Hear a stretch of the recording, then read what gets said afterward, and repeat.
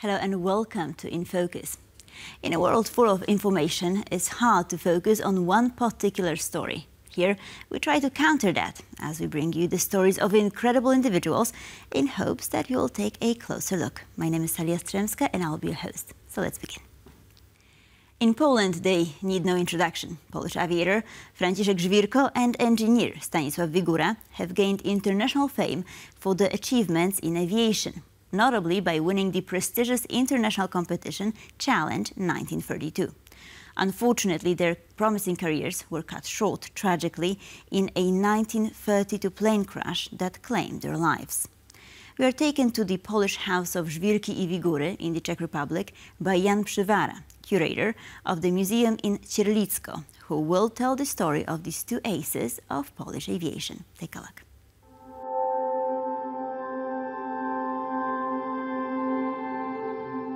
Zainteresowały mnie przede wszystkim I was most interested in the stories of the pilots, Żwirko and Wigura.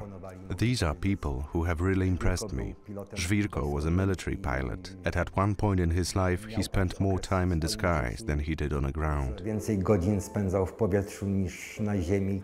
Jego zaangażowanie, jego His passion was just incredible.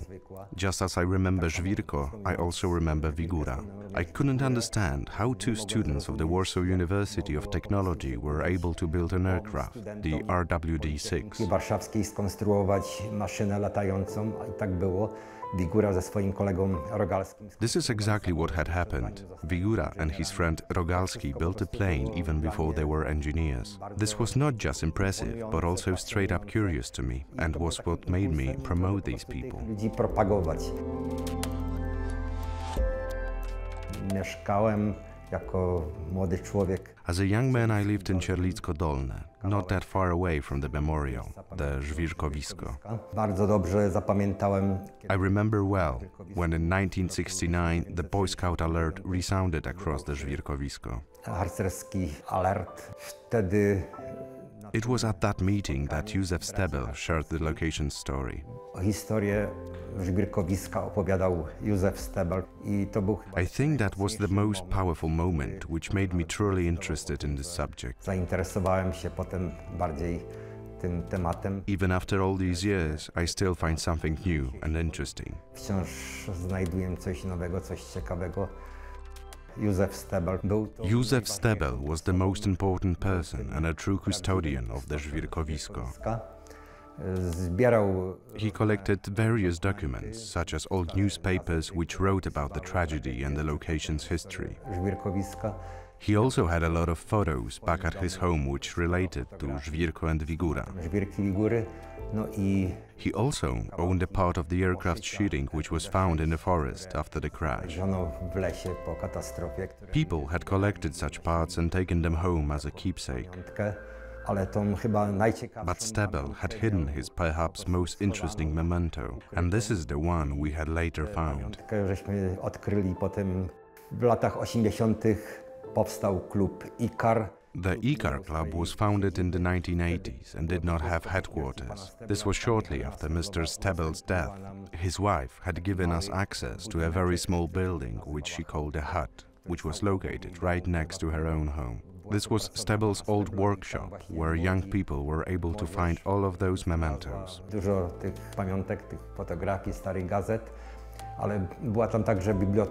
What was also there was Stebel's very expensive library, which was surprisingly rich for one found in a rural home. We started to browse through the books and put them in order. Czyli te książki przeglądać, porządkować. No i pod niemiecką literaturą Under the German literature, we had found a shelf wrapped in paper, which had been tampered with. When we took it off, there was a sign underneath. pod tym papierem był napis. Okazało się, że to są It turned out that these were planks from the Żwirkowisko gate, which had the words Żwirko and Wigura, a takeoff to eternity, inscribed on them. w 1979. Pamiętam, I remember well that in 1979, along with my friend Leszek Kotula and my brother Józef, organizowaliśmy w tym klubie we held a photograph exhibition in the old so-called hut. We gathered over a hundred photos and other parts of the aircraft, as well as several more mementos. kawałki poszycia RWD-6, i inne pamiątki.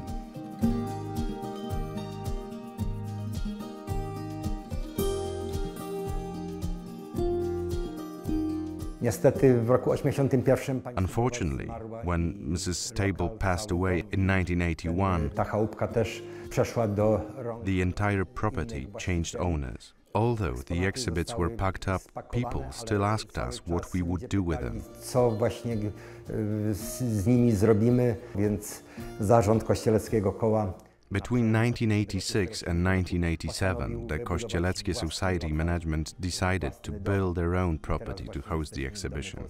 And where are we now is exactly that building dedicated to Żwirko and Wigura. nasz dom polski Żwirki Wigury We try not to call it a museum, despite it serving such a purpose and others. It's even used as a wedding venue. Funkcję można powiedzieć, jest y, y, lokalem. All of the events are hosted in this room under the RWD-6 and RWD-5 planes. Odbywają się pod samolotami RWD-6 i RWD-5, czyli że The aerial dimension here is very strong. silny.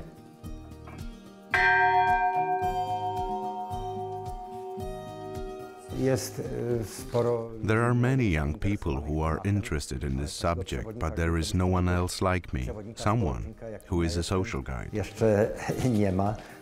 Cały czas My brother is also a guide, but he is even older than I am. starszy ode mnie. Także y, nie mamy We do not have any younger successors ready, but I hope that we'll manage to find someone so that the next generation will carry the torch. Temat zostanie podjęty przez młodą generację.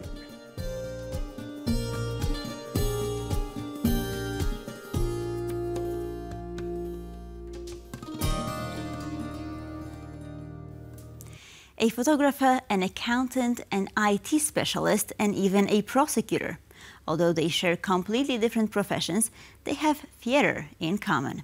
They met in their children's kindergarten and decided to create their own performance group. The Korek Theater is an amateur group of actors from Tarnowskie Góry who create plays and have a lot of fun doing it. Ilona Ptak visited them with her camera during the rehearsals.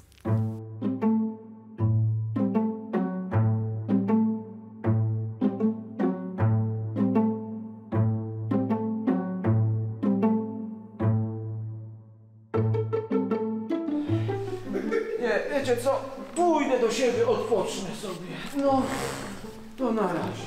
Na co dzień jestem fotografem. i zawodowo jestem księgową. Jestem nauczycielką w przedszkolu. Na co dzień jestem programistą. Pracuję w Oporze Śląskiej w dziale marketingu. E, co robię tutaj? Mm, dobre pytanie. Dzień dobry. Dzień dobry. Kim pan jest? Już mówiłem. Marek jestem. E, ale co pan tu robi? Jestem pewien, że adres się zgadza. Jesteśmy amatorskim teatrem e, Korek. A ty chodzisz? Przez ciebie nie chodzę. A ja ci bronię? A co, sama pójdę? Na wczasy jeździsz sama. To co innego. Już tam mnie nikt nie zna. O, nie przejmuj się. Twoi znajomi nie chodzą do teatru, na pewno ich tam nie spotkasz.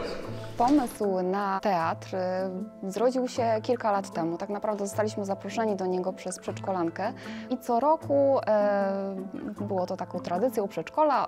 Był organizowany spektakl dla dzieci, w którym brali udział rodzice. Chyba nam się spodobało i dlatego w kolejnych latach już zostaliśmy na dłużej. Wyjechał. Wyjechał. Wyjechał. Dziś pomagam moim aktorom, którzy no, są najwspanialsi na świecie, którzy zostali z nami e, mimo tego, że ich dzieci już nie chodzą do nas do przedszkola i przynoszą mi strasznie dużo radości.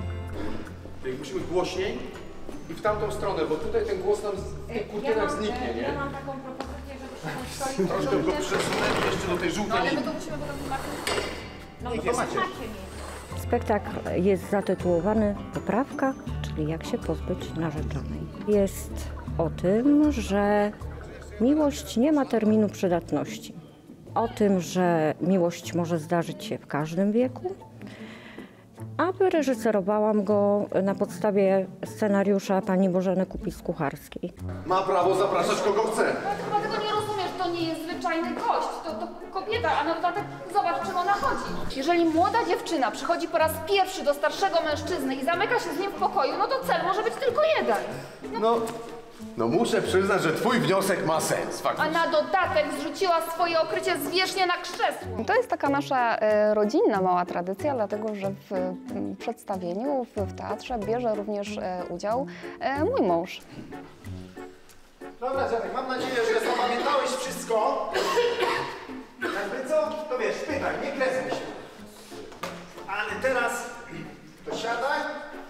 Dla mnie to jest fajna rzecz, bo jest prosta. To znaczy, mm, w przeciwieństwie do takiego normalnego życia, tutaj jest dokładnie tak, jak jest w scenariuszu, więc można się tego nauczyć i potem grać według tego. Chociaż w praktyce to nie zawsze tak wychodzi, bo i tak się mm, na scenie improwizuje na tyle, że za każdym razem wychodzi to inaczej i jest fajnie. Ja naprawdę nic nie powiedziałem, no przysięgam ci. Mężczyznom to się zawsze tylko tak wydaje, że nic nie mówią, a mówią wszystko. Dla mnie to jest e, taka odskocznia od e, takiego codziennego życia, daje mi dużo frajdy, e, szczególnie próby, na których jest zawsze e, ciekawie i wesoło.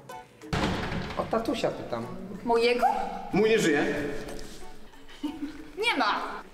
Jak to, wyjechał?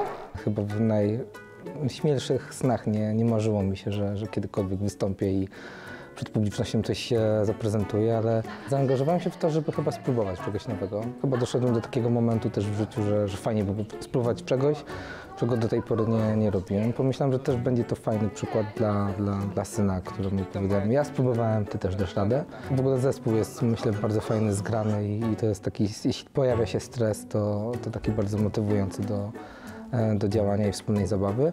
A po wszystkim jest chyba zadowolenie i satysfakcja, że udało nam się coś fajnego zrobić i przede wszystkim dobrze się przy tym bawić.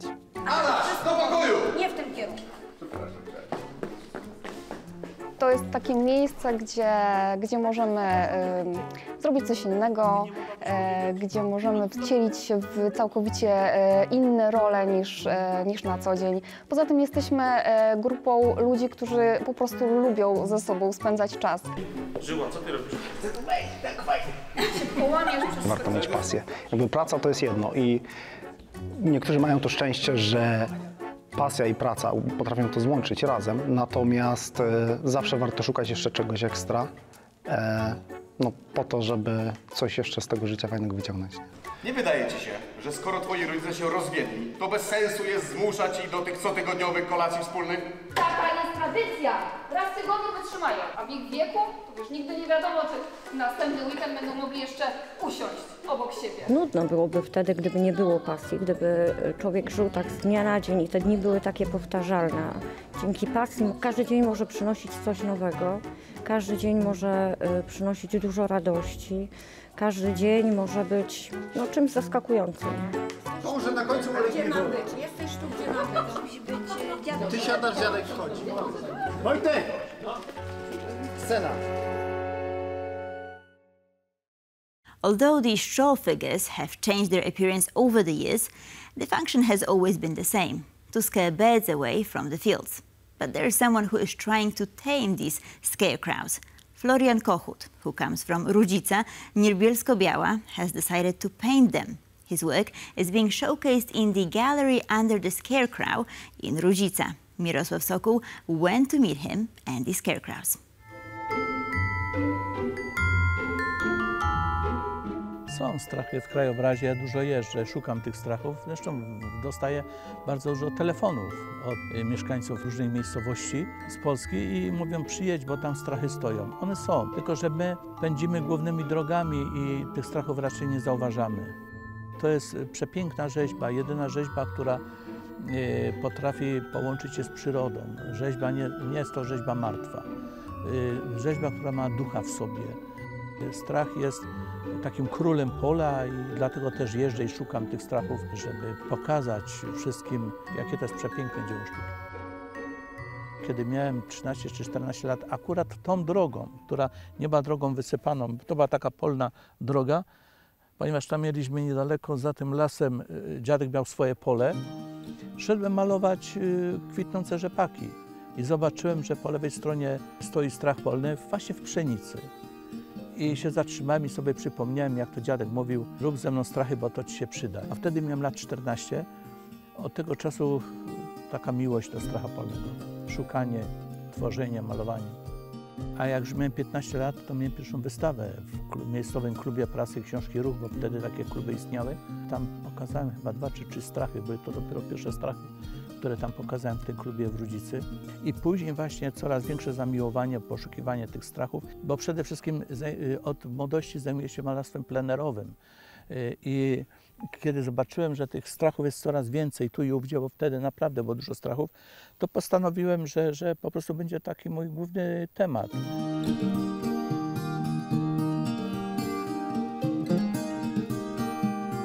Na początku było ich mniej, a teraz właściwie całkowicie poświęciłem się od jakichś 30-40 lat całkowicie poświęciłem się twórczości Stracha Polnego. Także idąc w plener i, i, jak zobaczę Stracha, to przede wszystkim maluję Stracha Polnego, a dopiero później maluję pozostały fragment plenerowy. Ja często z tymi strachami rozmawiam i gdyby ktoś z boku patrzył na, na, na mnie, ktoś tam z daleka mnie obserwował, jak ja podchodzę do stracha, z nim rozmawiam i pytam się go, biedaku, co ty tu robisz, kogoś wystraszył, z kim rozmawiałeś, kto tu pod, do ciebie podchodził, to pomyślę, no jakiś jest y, tego, ale to chodzi o to, żeby, żeby z nim się zaprzyjaźnić, żeby pod warstwą farby pokazać jego wnętrze. To jest bardzo ważne bo y, jeżeli nie będę z nimi rozmawiał, jeżeli będę teraz, jak patrzę na tego stracha, nie będę obserwował go, że on się rusza, że on współpracuje z wiatrem, że on z wiatrem rozmawia, no to, y, to wtedy nie będę mógł to namalować. Ja muszę najpierw zobaczyć, jak on to robi i, i, i odpowiednią farbę, odpowiedni kolor, odpowiednią plamę mm, nanieść na płótno, żeby pokazać właśnie ten wiatr, i pokazać to powietrze. I to jest dla mnie najważniejsze, żeby uchwycić właśnie wiatr. Zresztą jak popatrzymy w tej chwili, jest taka niby cisza, ale by się wydawało, że niby cisza, ale kiedy zamilkniemy i popatrzymy, to wszystko rozmawia ze sobą i to umieścić, to namalować. Kiedy 32 y, lata temu przyszły do mnie pierwsze strachy, były takie smutne. One miały jakąś starą, jak to mówią na Śląsku Cieszyńskim, kabot, czy tam jakiś płaszcz narzucony, jakąś czopkę przez skoczu chyba wyprodukowany kapelusz. I one były, były takie smutne, były to takie trochę smutasy. A teraz właśnie tu widzimy y, współczesny strach, kolorowy, przepiękna dziewica, która tutaj stoi, to taki strach zrobiony w tych latach, czyli jakoś to się, wszystko się zmienia, zresztą tak jak wszędzie, oprócz przyrody. Przyroda, ona wciąż pozostaje taka sama. Kontakt z przyrodą daje spokój. Zresztą przyroda jest najpiękniejszą boginią świata i, i, i podpatrywanie jej, i szukanie w niej piękna jest to najpiękniejsze. Uchwycenie tego momentu kwitnienia, tej kończyny, tych, tych różnych żółtych kwiatów i tych owadów, pszczoły, tu widzę osy, czy też motyle, to jest najpiękniejsze, co może być. Tego nikt nie, nie stworzy. I teraz jak my patrzymy się na ten szum, na ten ruch i jak pojawią się jakieś tam e, ptaszki czy coś, to, to, to wtedy tworzy to doskonałe e, kompozycje, doskonały utwór muzyczny. To też właśnie naładowanie się, bezpośrednie przebywanie w plenerze samemu, sam na sam z tą boginią. O, teraz słyszymy ptaszki. To jest właśnie najpiękniejsze. To jest pasja, to jest miłość, y, to jest odczucie piękna, to jest y, w ogóle zawód. Ja nie wyobrażam sobie mojego życia bez stracha polnego i, i w ogóle nie szukania tego stracha polnego. Niektórzy mówią, abyś już sobie usiadł, jesteś na emeryturze, co ci już tam trzeba i tak dalej, i tak dalej. Nie. Ja do końca życia, dopóki mi starczy siły, dopóki będę miał dużo w sobie jakiejś takiej energii twórczej, to na pewno będę jeździł, będę szukał y, stracha polnego te moje obrazy, y, ta moja twórczość jest taka prawdziwa. Staram się pod warstwą farby zostawić swoje serce. Moja twórczość jest oryginalna, niepowtarzalna. Każdy strach, mimo to, że on jest podobny, w podobnym polu, ale jak się przyjrzymy, on jest inny. Jest inna muzyka, jest inny wiatr. I żeby to właśnie chwycić na, na, na płótnie.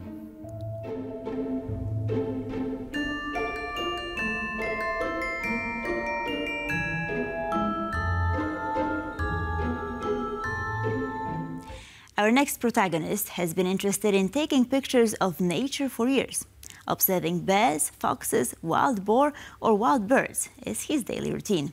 together with Bartosz Dominik, they went on a hunt where, of course, no animal was harmed because, as our hero emphasizes, the most important thing is not to harm, but to live in harmony with nature. Here's more.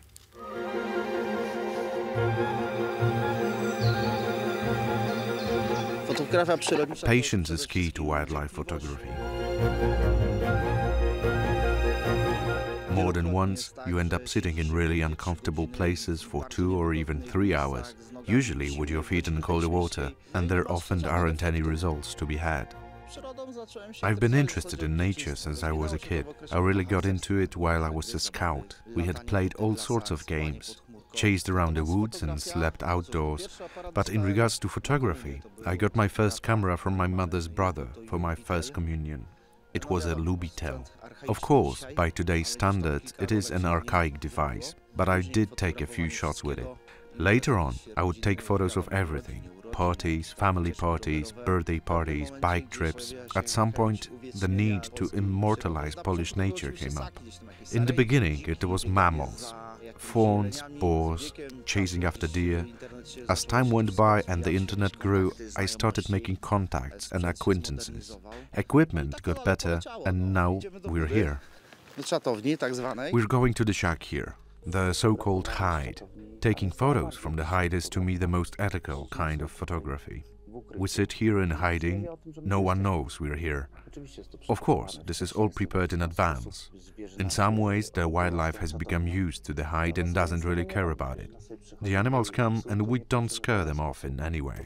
A fawn can come here, a boar can show up, even foxes. If we sit in silence and don't make any sudden movements, the animals will hang around for a bit, then go somewhere else in peace. We can observe them without doing any harm. This is much more ethical to me than taking shots while stalking them. Także to jest dla mnie dużo bardziej etyczne, jak właśnie fotografowanie z podchodu. W tej chwili mamy przed... Right now we have a buzzard in the front of the hide. It's got interesting coloration. I can tell it's a young specimen because it still has bright iris. People think that birds immediately attack other birds, like pheasants. That's not true. It's absolutely not true. In nature, there is symbiosis, there is balance, and that is what it's all about. We can come here right now, pheasants are wandering around, there is a buzzard right next to them, there's also a jay, a magpie, and all of this can coexist somehow. I to wszystko potrafi koło siebie jakoś funkcjonować.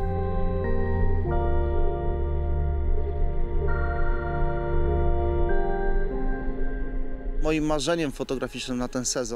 photographic ambition for the season is to take a photo of a wolf located in scenery straight from my dreams. The second such animal would have to be the avocet. I would finally like to photograph one because I don't have any photos of that beautiful bird. There are a few rare animals that I'd love to capture with my lens, but that all depends on weather, the time I have, and the conditions. These are the factors which determine what, when, and where I photograph. No i warunków, no bo to są, to są takie wytyczne, które decydują co, kiedy, gdzie do, podchodzę do jakiego gatunku w danym terminie. Jak zaczynałem fotografować, czyli jakieś When I started my adventure with photography, so 16 or 17 years ago, a male pheasant approached me. That was something incredible. Or when my first buzzard landed. I remember I put a pallet on the ground and covered it with dirt, and then the buzzard sat on it. I hadn't even been aware that there were such birds here in our city. And now, well, it's no secret that appetite comes with eating, and a buzzard is just a buzzard. Of course, for someone who is just starting out, it's a bit of an adrenaline rush. But it pales in in comparison to when you're in Finland and while you're just sitting there and a bear walks by, not five meters away, and you can hear it breathe. It changes everything. You feel something else. Or in Badic Valley, when you see the cranes, or at Rykowisko. It's just indescribable. You can just go there without a camera, just with a pair of binoculars and sit, listen and observe, and you come back home so relaxed, so at peace, that you realize you don't need anything more. obserwować i człowiek przyjeżdża tak zrelaksowany do domu, tak wyciszony, że nie potrzeba nic więcej. Pasja, którą The passion that I work, the one that I love since I've been doing it for 20 years, it's not just the hide. It's also shooting while you're on the floor to get as close as you can to the animals and get the desired results in the form of great photos. efekty. postaci zdjęć. No to już jest taka ekstremalna fotografia. Now, this is basically extreme photography. You have to approach it with clear mind.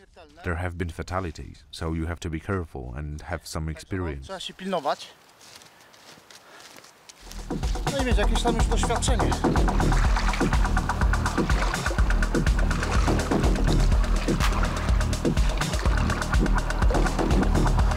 It's shallow here. Now it's getting a bit deeper. Dobrze, wchodzimy do środka. All right, let's get inside.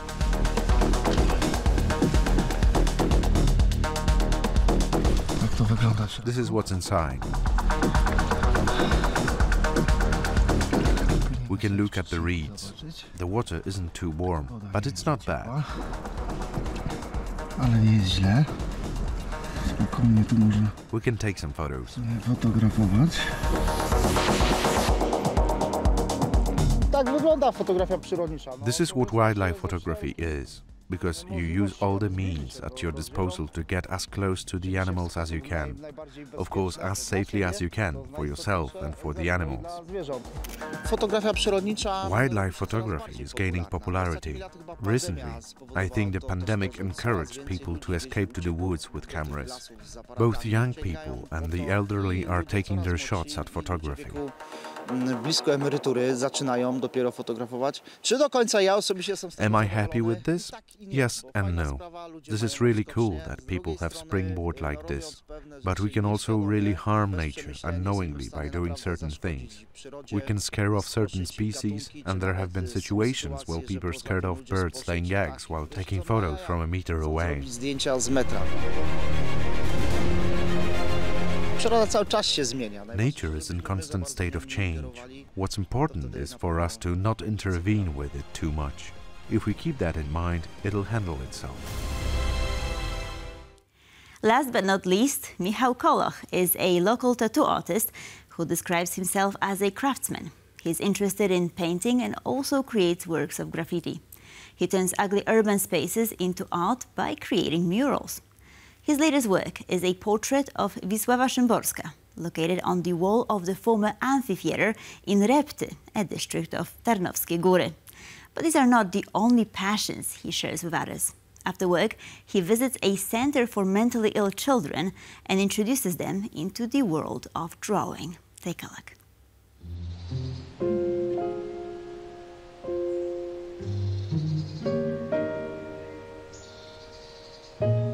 Nazywam się Michał Koloch. Jestem I'm a sociologist by education, but a tattooist by profession. They say I'm an artist, but I consider myself an artisan. mówią na mnie, że jestem artystą, a ja to nazywam, że jestem rzemieślnikiem. Próbowałem w życiu bardzo wielu pasji. I've tried out many things in my life. I try to chase my dreams. For example, I've ridden horses, played the trombone as part of an orchestra, and I'm currently really into rock climbing. E, a aktualnie skupiłem się na wspinaniu.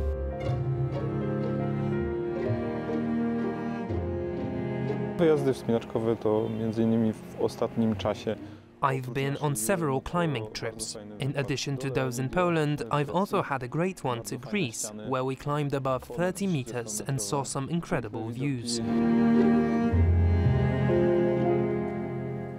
wszystko próbuję gdzieś pogodzić. I live in a bit of an artistic chaos, but I manage. Ale jakoś ogarniam.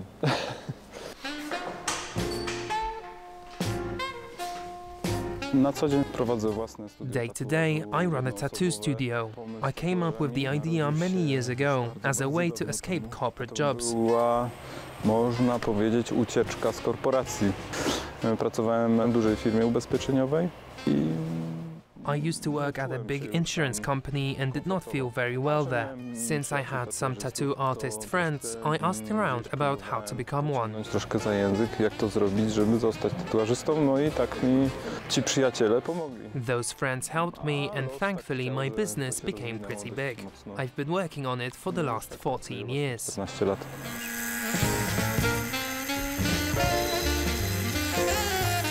The tattoos which I remember the most fondly are those associated with people. I remember the person, the tattoo and the story.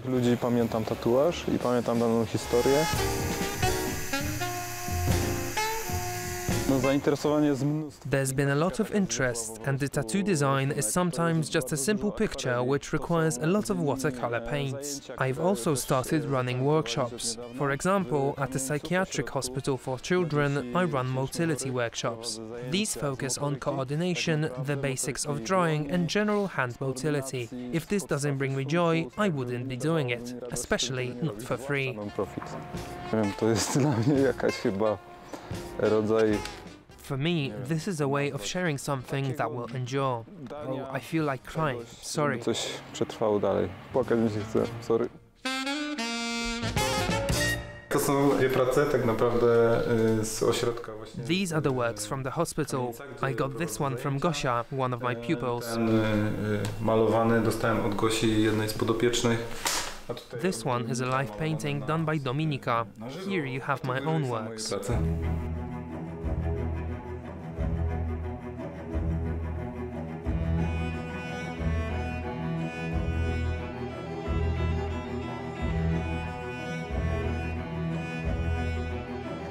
Graffiti to... Graffiti is an idea of mine from ages ago. Back when I didn't have courage and all I had was a spray can, I took baby steps into that world. Próbować jakby w- wejść w ten, ten świat.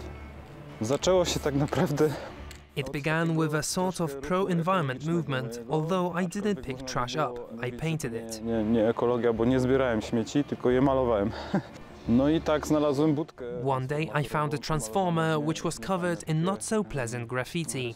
That was when the idea to make graffiti of my own bloomed, so that I could fill that space with something beautiful. Ładnie wyglądało. Mhm.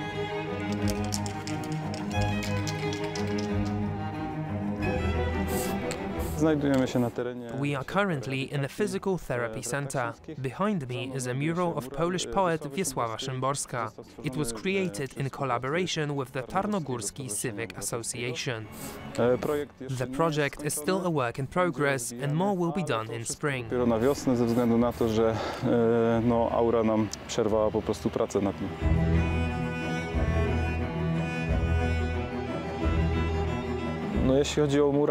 I do all of the murals for free. All I ask for are spray cans. I do this because it means something to me and because I love it. z czystego serca, bo to lubię robić.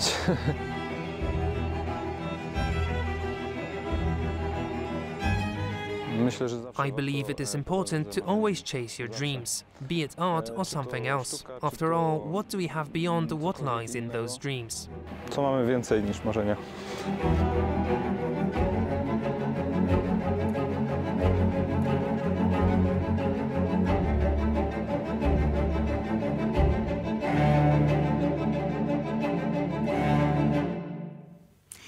This heartwarming story, we conclude this episode of In Focus.